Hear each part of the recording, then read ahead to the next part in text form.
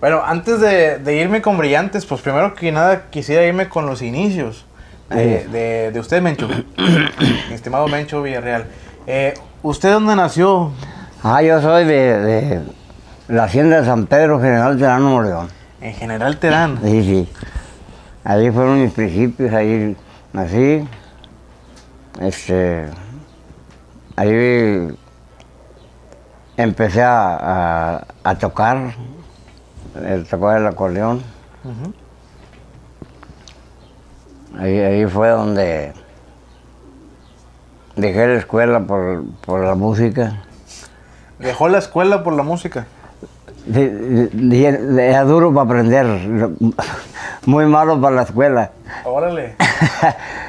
Nomás hasta segundo y ya, ya, ya, no, ya, ya no pude. Oh. Muy difícil la escuela, muy difícil. No tuve chance de estudiar. Este, en aquel tiempo, pues estaba muy difícil la vida y aparte no me entraban las letras. ¿Sabes por qué? sería? Por algo serían. Yo creo. Entonces agarré, agarré la...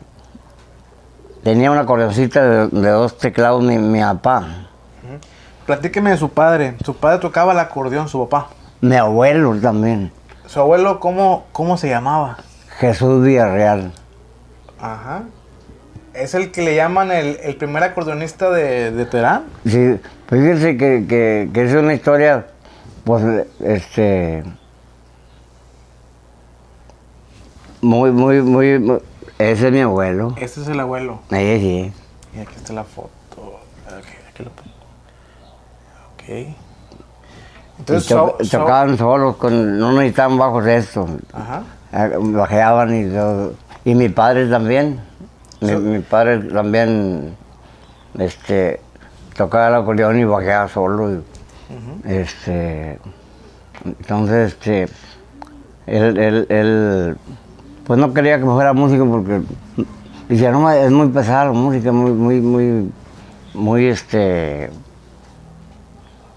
se sufre mucho en la, en la música porque pa- para sacar chivos batalla uno a veces. ¿Cómo sacaban el chivo los músicos en aquella época? ¿Cómo sacaban el chivo? ¿Tenían que tocar en cantinas o tenían que...? No, pues fíjate, ¿Fiestas? fíjate que ya, que, que mi, mi, mi cuñado tenía un- una cantina y ahí, y ahí yo, yo, yo, mi padre también ahí to- tocaba a la, a la raza en ese tiempo. ¿Qué tocaban? ¿Polcas? ¿Norteñas? ¿Qué tocaban? Sí, pues mi padre tocaba muchas redobas y, y polcas y, y- y canciones, corridos y todo eso. Allá en la cima de una montaña, a una joven yo conocí. Canciones muy viejísimas. Y, y no me acuerdo de alguna que otra canción que cantaba mi padre. Este, y, y ahí en esa cantina era de mi cuñado, de, de Pancho Vázquez. de, eh, este, y ahí tocaban, y ahí yo, yo también empezaba a tocar y, y me iba a ir a tocar en, la- en la- a, la- a los clientes. Usted como, como un niño. Usted e- era todavía niño. ¿eh? Sí, los chavos de Giro. Yo me vine de allá de, de, de que no te dan. Nomás terminé de la- las 18, 19. Me vine para acá, para Monterrey. Su abuelito, su abuelito que tocaba el acordeón, este, ¿a qué se dedicaba? ¿Nada más a la música o tenía oficios de, de ganadería o algo de agricultura? No, pues, este, pues ellos ag- agricultoras. eh, Agricultores. O sea, en la labor. Y por, por pasatiempo el acordeón, por, por hobby. Sí, sí, sí, tocaba el acordeón. Eh, como le digo, este, se manejaban solo, a veces nomás agarraban una guitarrita para que los acompañara y, y así. Pero, pero, este, yo estaba chiquillo cuando, cuando mi abuelo, o sea, yo, yo me acuerdo muy leve de él. Pero, pero, este, mi padre sí, ese sí, sí me acuerdo bien y muchas anécdotas de él, o sea, de- ¿Y sus tíos también tocaban instrumentos? ¿Sus, sus tíos, hermanos de su papá? Fíjate que, que no, que no este. No, músicos, parece que había unos parientes de él que lo, acompañaban con la guitarra a mi padre.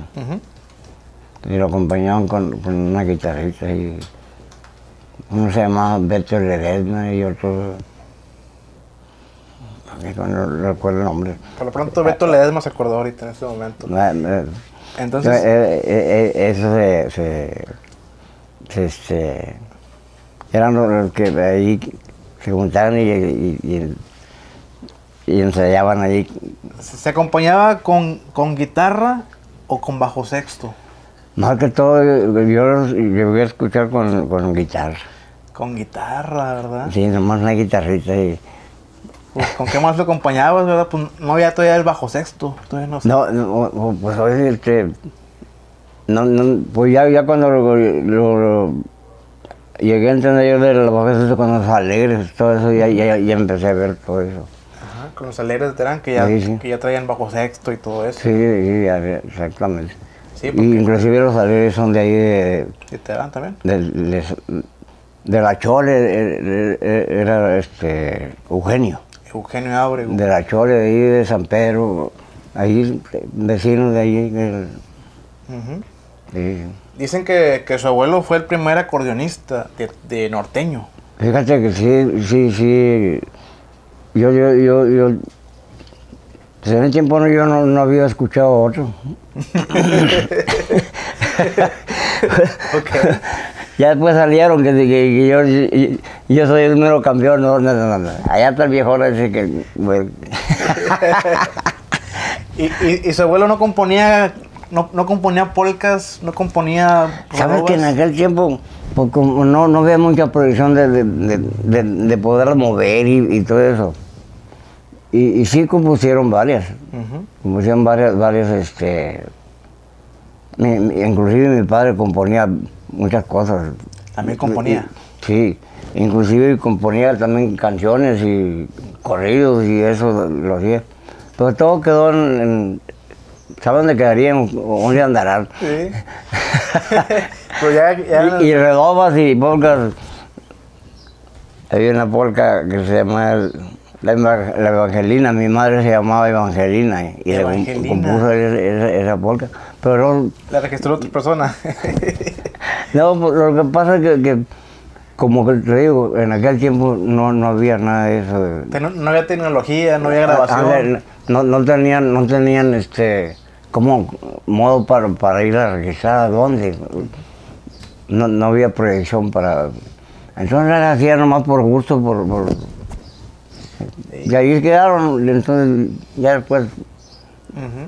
Se, se- se van ampliando las, las, las cosas por ahí. Exactamente, sí, pues ya el que la graba pues la empieza a registrar, ¿verdad? Hay polcas que son que son a- adaptadas de orquestas, como, la, Ah. como la polca del circo, que es de una orquesta estadounidense. Ah, Fíjate. Y obviamente las adaptan en el acordeón y ya las, se las quedan, ¿verdad? Ahí sí. Pero son, son cover, cover. Sí. Pues fíjate que, que, que sí, sí, sí, la todavía existen. y, y yo tenía una canción que se la tengo porque la, la logré recuperar. Claro. Tenía una canción que se llama De Pasadita. La pasadita, ¿sí? De Pasadita. Pasadita. Y, y la llevaron muchas bandas para Sinaloa el- el- y toda allá, Sonora. Se veían muchas, le grabaron muchas, muchas, muchas. Y sonó mucho.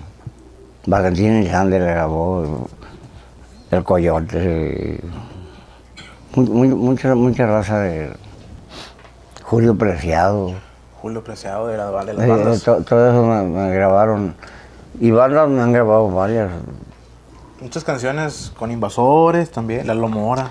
Ah, no, pues de- eh, aquí en lo regional, yo estaba hablando de por, por allá, este, aquí en lo regional, este, invasores, este, eh, fueron, fueron, este, Los principales, ¿no? Los principales fueron los invasores, ¿verdad? Los- invasores y Lalo Mora, Lalo Mora. mi compadre. Ah, antes Un de- saludo para mi compadre. Un saludo para Lalo Mora, el señorón. Antes de llegar a ese paso de Lalo Mora e Invasores, quisiera remontarme un poquito al pasado. según tengo que entendido, su padre fallece cuando, cuando tenía usted 21 años. Su, su papá falleció muy joven. Ah, mi, mi- mi padre falleció, tenía 52 años. Joven. Digo, en, en ese tiempo que es la, la, la juventud, para- del hombre empieza a madurar de los 40 para arriba. Mm, Ya de ahí para allá, ya, ya pasando los 50, 60, ya, ya, ya de ahí se le piensa. claro. Y no sé. Pues, eh, pues este, mi, mi, mi, mi padre, me, me- como le platiqué ahorita, no me, no me dejaba que, no quería que tocara el acordeón y me metí debajo de la cama. Órale. Debajo de la cama y ahí empecé a sacar las mañanitas. Una acordeoneta de dos teclados. De dos teclados. O sea, De- do- de- do- de dos hileras. Dos hileras, dos hileras. Que era una, una Honor, era lo que había. Joder, joder. Joner. Sí. Inclusive todavía me la traje aquí a Monterrey y, y todavía he tocado con ella. Todavía. Con ella, lo poquito que, que había. Con ella, se, con ella se, se- usted se, se enseñó a tocar ya el acordeón. ¿verdad? Ya con esa usted ya se enseñó a tocar el acordeón, con la acordeón chiquita, con la de dos. Sí, con esa. Empecé y, y luego ya, ya este, un amigo ahí me sacó de, de- de San Pedro y vamos, vamos- vamos a, vamos pa Monterrey. Se llama Jeremías el, muchacho. Ujú. Y ya llegando aquí a Monterrey, pues ya me. hay otro más bueno que yo para tocar y. y Se rombó. se, se dejó. Pero no, yo, yo como que ya le seguí tercando y. Y y ahí estamos todavía dándole duro. ¿Cómo se llamaba ese, esa agrupación? Se llamaban Los Canarios, ¿verdad? Antes sí hice un, un grupo que se llama Los De Canarios. San Pedro. De- Los Canarios de San Pedro, exactamente. No, Sí. no era con este chavo, ¿verdad? No era con Jeremías, no era con Jeremías. En los canales no eh, eh, era otro grupo, otro- otros chavos. De los que ya me, me, me- este, después que el, el amigo este que, que fue con el que me vine para acá, ya este, aquí junto a la otra y nos juntamos ahí. Yo me aventé 12 años solo aquí en Monterrey, a ver como caía. ¿Qué música usted aprendió a tocar? ¿Qué música aprendió usted en el acordeón? Ah, no, lo- lo- puro norteño. Lo, lo- lo- lo norteño siempre, siempre, este, es lo que me ha gustado más. Claro. ¿Se acuerda de los grupos que usted interpretaba? ¿Se acuerda? Fíjate que, tengo, la, mejor anécdota que tengo es cuando yo empecé a tocar, pues no tenía ni radio allá en, el rancho, no había ni. batallaba para oír la música. Había una tiendita como unas tres cuadras y allá iba a oír el programa de los alegres. y oía la canción y arrancaba para la casa. Un pedacito de canción y, y ahí lo empezaba a sacar en el acordeón. Y luego me volvía a venir. Y otro día, otro, otro, otra guerradita. Y ya completaba las canciones y, y así me, me fui agarrando canciones. ¿Los programas de radio eran en vivo o eran grabaciones los, los usted- No, eran en vivo. Eran en vivo, los alegres. Y nomás un solo mi- micrófono ahí y ahí rodeados. al- al- alrededor del micrófono. Claro. Sí, sí.